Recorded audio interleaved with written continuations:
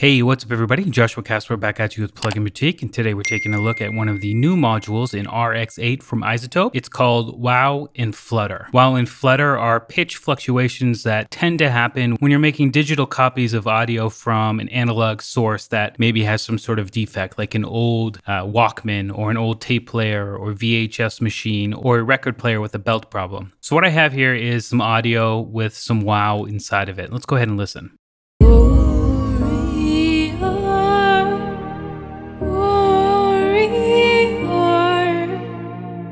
You can really hear the pitch kind of slurring there. And if I come over to the full spectrum view, we can actually see that happening.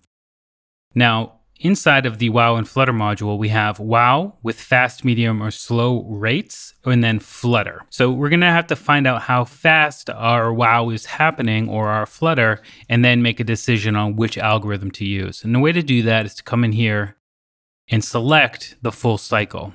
And if you look down here, I'm at 0.423 seconds or milliseconds. And then you're going to want to use a calculator. You can find them online for free to figure out what that is in hertz. And if I remember correctly, 0.423 is around 2.2 hertz. So inside of the WoW Flutter module, we're going to use the fast algorithm on the WoW. So fast is 2 to 5 hertz.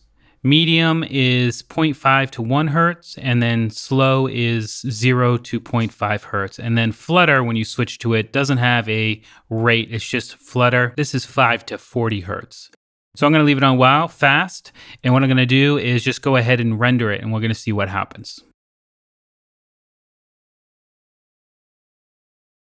And you can see visually before we even preview that those lines have gone away or those fluctuations. Go ahead, initial state back to the processed version, and now let's listen. Again, let's listen to the original.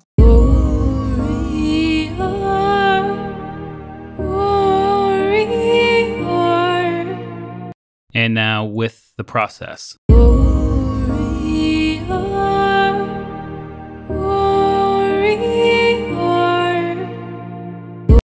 I mean, that is night and day. And all we needed to do was figure out how fast the fluctuation was happening and then choose the correct algorithm and hit render. There is a sensitivity control and the ability to center the global pitch, but just from what I did, we're light years ahead of where we were. So if you've got some old recordings that you're trying to make digital copies of and you're experiencing WoW or Flutter, this module is going to change your life. Anyway, that's a quick look at the WoW and Flutter module inside of the brand new RX8 from iZotope. Make sure to subscribe to this channel because I've got a bunch more videos coming for the newest version of RX. I'm Joshua Casper. I hope you learned something and I'll see you in the next video.